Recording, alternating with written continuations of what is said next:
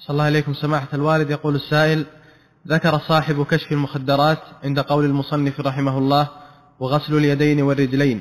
قال وترك الترتيب في التفصيل ليذكر المغسولات على نسق وفيه رد على المبتدعة. فمن أي وجه يكون هذا الرد؟ هذا الذي بينته لكم يا أخي بينته لكم. أنه ذكر اليدين الرجلين بعد اليدين من باب النسق في المغسولات.